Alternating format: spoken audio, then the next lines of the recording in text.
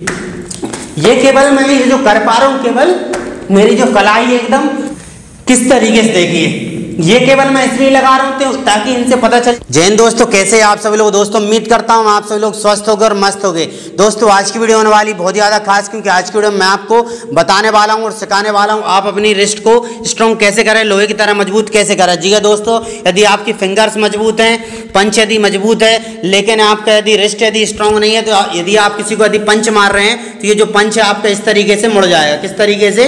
इस तरीके से मुड़ जाएगा। मान लीजिए आपका हैंड भी मज़बूत है, पंच भी आपका मज़बूत है और फिंगर्स भी मज़बूत। लेकिन रिस्ट यदि मज़बूत नहीं है, यदि आप किसी में मारेंगे तो आपकी जो रिस्ट जो है वो टूट जाएगी, या फिर आप पुशअप्स लगा रहे हैं तो आपसे पुशअप्स भी नहीं लगेगा। इसलिए आपकी जो रिस्ट है, वो एकदम लोहे की तरह मज़बूत होना बहुत ही ज़्यादा ज़रूरी है। तो आज मैं आपको वही सिखाने वाला हूँ। सबसे पहले तो मैं, देखिए आपको डिप से लगा के दिखाऊँगा पुशअप से लगा के दिखाऊँगा। पहले मैं आपको बता दे रहा हूँ, कुल मिला के बात यह कि जो मेरी जो रिस्ट है मतलब जो कलाई है, वो मज़बूत है कि नहीं, सीधी सी बात। आप समझ जाएँगे कि भाई, सर की कलाई मज़बूत, इसलिए वो हमको सिखा रहे हैं। देखिए, सबसे पहले मैं पुशअप से लगा के दिखा दे रहा हूँ, देखिए।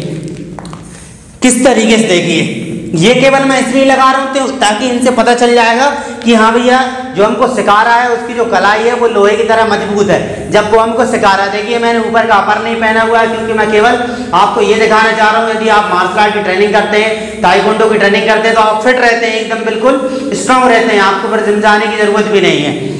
इस तरीके से, अब देखिए सेकेंड में देखिए। ये केवल मैं ये जो कर पा रहा हूँ, केवल मेरी जो कलाई है, एकदम लोहे की तरह मज़बूत है। इसलिए मैं कर पा रहा हूँ इन चीज़ों को। यदि मेरी जो कलाई है, यदि वो स्ट्रॉन्ग नहीं रहती थी इधर से टूट जाता, सिंपल सी बात है। देखिए।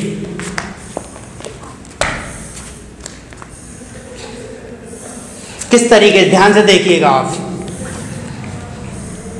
इस तरीके से। ये केवल मैंने आपको सबसे लगा के दिखाई, केवल इसलिए लगा के दिखाई है कि मैं केवल इतना बताना चाह रहा था कि मेरी जो कलाई है वो एकदम मज़बूत है लोहे की तरह मज़बूत। अब मेरी कलाई कैसे मज़बूत हुई, मैं आपको बता रहा हूँ। आपको ट्रेनिंग करनी पड़ेगी, आपको कौन कौन सी एक्सरसाइज करनी, वो मैं आपको आज की इस वीडियो में बताऊँगा। तो ध्यान से देखना, देखिए, पहली जो एक्सरसाइज है, उसमें क्या करना आपको, देखिए, इस तरीके से, ऐसे करके देखिए, इस तरीके से खड़े हो जाना है सिंपल बिल्कुल। ऐसे करके और गिनती करना है ऐसा, एक, दो, तीन। इस तरीके से आपको ट्रेनिंग करना है, ध्यान से देखिएगा, कैसे? इस तरीके से करना है बस। बॉडी वेट जो है वो कहाँ रहना चाहिए? आपका हैंड पर रहना चाहिए। कहाँ रहना चाहिए हैंड पर? ऐसा नहीं कि आप ऐसे करें खड़े ऐसे में कुछ नहीं होगा। याद रखें आप। इस तरीके जो पूरा जो वज़न है वो कहाँ रहना चाहिए? कलाई पर रहना चाहिए। अब सेकेंड जो एक्सरसाइज है, उसमें क्या करना है? ध्यान से देखिएगा आप। इस तरीके देखिए। इसको बोलते हैं अपन फुल समझ लीजिए आप। अभी अपन हाफ़ कर रहे थे, अब फुल कुछ नहीं करना, आपको इस तरीके से करना और गिनती करना है। इस तरीके से। ऐसे करके। अब इसके बाद देखिए, जैसे आप ये वाली करते हैं, जैसे आप ट्रेनिंग करेंगे, पहले अपन ने एक एक्सरसाइज कर ली, उसके बाद इस तरीके से पंच को रोटेट कर लिया। इस तरीके रोटेशन चेंज कर ली, उसके बाद ये मूवमेंट कर लिया ऐसे करके। ताकि, क्योंकि आप जब कलाई की जब ट्रेनिंग करेंगे तो आपकी जो कलाई में है ना, दर्द बहुत ज़्यादा होगा।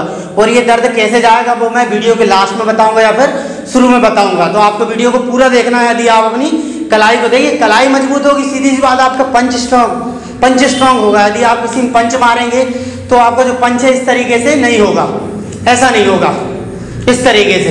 ये हो गई पहली एक्सरसाइज अब दूसरी एक्सरसाइज में दोस्तों आपके करना है? इस तरीके से आगे की साइड चलते हुए जाना, ध्यान से देखिए। इस तरीके से आगे चलना, देखिए। ऐसे करके। उसके बाद देखिए सेम कंडीशन में पीछे चलना, देखिए।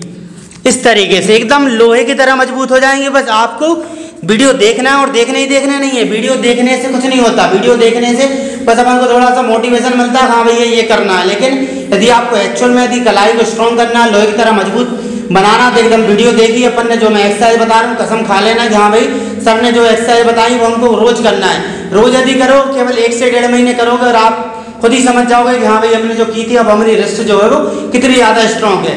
तो इस तरीके चलना। उसके बाद देखिए फुल में इस तरीके से होगा। ऐसे करके ध्यान से देखिए आप। इस तरीके से धीरे धीरे आगे की साइड चलना है उसके बाद धीरे धीरे फिर पीछे की साइड चलना है ऐसे करके। जितना चलते बने, मैं ये नहीं कह रहा कि आप 10 कदम चल लो 20 कदम चल लो, ऐसा नहीं। जितना भी बने, यदि आप बिगिनर्स हैं तो सबसे पहले आपको घुटनों पर करना है, और उसके बाद जैसे जैसे आपसे बनने लगे, उसके बाद फिर आपको फुल करना है। इस तरीके से करना। आप नेक्स्ट एक्सरसाइज में ध्यान से देखिएगा। इस तरीके से देखिए। इस तरीके से ये बेंड हो गए अपन। अपन को क्या करना सिंपल इस तरीके से हैंड को उठाना है one two three four five इस तरीके से आपको ट्रेनिंग करना है। ये यदि आपसे नहीं बन रहा तो घबराने की ज़रूरत नहीं है। सारी चीज़ें मैं आपको बताऊँगा। वैसे आपको अच्छे से वीडियो को देखना और अच्छे से आपको ट्रेनिंग करना है। इस तरीके से अपन ऐसे करके पोजीशन बनाए और इस तरीके से करना है। ईमानदारी से करना वेट जो है, वज़न जो है, वो कहाँ रहना चाहिए? हैंड पर रहना चाहिए। पहले ये वाली कर लेना, उसके बाद ये वाली एक्सरसाइज कर लेना, जो मैंने अभी बताई थी। किस तरीके से? ये वाली एक्सरसाइज आपको करना है। अब नेक्स्ट एक्सरसाइज में ध्यान से देखिए, ये जो एक्सरसाइज है, ये एक्सपीरियंस वाली एक्सरसाइज दोस्तों। मैंने लगातार छः साल ट्रेनिंग की हुई है मार्शल आर्ट टाइकोंडो की, और छः साल से ऊपर मुझे सिखाते हुए हो गए। मतलब बारह साल का एक्सपीरियंस है, उस एक्सपीरियंस के बेस पर मैं आपको बता रहा हूँ। इस तरीके से आपको करना है। और एक बात आप ध्यान रखना है, जैसे जैसे स्टेप बाय स्टेप आपको करना है। जैसे एक एक्सरसाइज करी उसके बाद ये मूवमेंट कर लिए फिर इस तरीके से फिर हैंड रोटेशन ये चीज़ आपको करते जाना, ये प्लस में रखनी है, ये कोई नहीं बताया ये मैं आपको बता रहा हूँ, ऐसा नहीं कि आप एक्सरसाइज एक्सरसाइज कर रहे हैं। ये जो है ना, ये टूट भी सकता है, यदि आप ऐसा ऐसा करोगे तो। ज़्यादा दर्द होगा, हो सकता है इंजरी आपको परमानेंट बन जाए तो आपको इस तरीके से मूवमेंट भी करते रहना है, ऐसे करके। और इनमें जो दर्द होगा, वो कैसे जाएगा, वो मैं लास्ट में बताऊँगा। अब देखिए नेक्स्ट एक्सरसाइज में आपको करना है, इस तरीके से पैरों को दूर कर लेना है, और ऐसे करके ध्यान से देखिएगा। इस तरीके से पुशअप्स लगाना, ध्यान से देखिए। कैसे करके? इस तरीके से पुशअप्स लगाना, देखिए। ऐसे करके? इस तरीके से करना, देखिए। ऐसे करके। यदि ये, यदि आपसे नहीं बन रहा तो आप घुटना टेक होके ऐसे करके पैरों को दूर दूर करें और इस तरीके से आपको करना है ऐसे करके। इस तरीके से आपको ट्रेनिंग करना है ऐसे करके। इस तरीके से। इतनी एक्सरसाइज आपको करना है, यदि आप इतनी ही एक्सरसाइज यदि करेंगे तो आपकी जो कलाई एकदम लोहे की तरह मज़बूत हो जाएगी और आपका जो पंच है एकदम वो भी स्ट्रांग हो जाएगा।